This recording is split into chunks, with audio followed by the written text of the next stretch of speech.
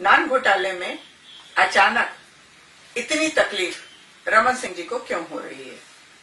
ऐसा क्या कारण है कि छत्तीसगढ़ सरकार ने जब जाँच शुरू करने के लिए एसआईटी का गठन किया, तभी अचानक सोते से जागे और केंद्र सरकार से प्रवर्तन निदेशालय ने भी इस दिशा में जाँच शुरू कर दी। कहीं न कहीं मामले में बहुत बड़ा गड़बड़ घोटाला तो दिखाई पड़ रहा है।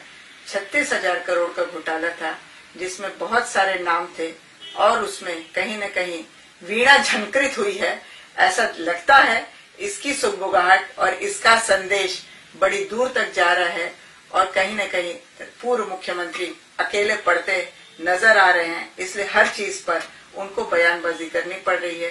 क्या कारण है कि उनके मंत्रिमंडल के पूर्व मंत्रीगण अभी तक मौन है और कोई भी प्रवक्ता उनके इस बात पर साथ देने क्यों नहीं आ रहा है?